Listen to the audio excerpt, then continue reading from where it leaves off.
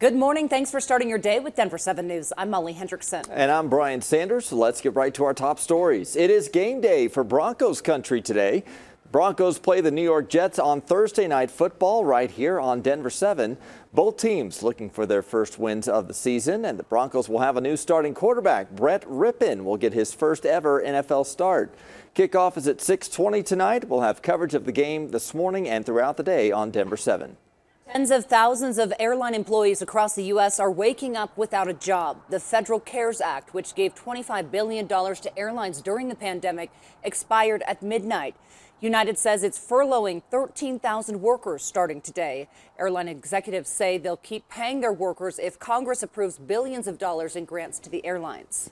A six-day volunteer search for evidence in the disappearance of Suzanne Morphew turned up largely empty. Morphew has not been seen since Mother's Day.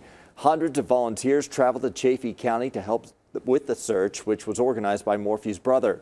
The sheriff's office says volunteer search crews found several pieces of, quote, possible evidence, but none of it directly connected to the Morphew case. Here's meteorologist Lisa Hidalgo with your Denver 7 forecast.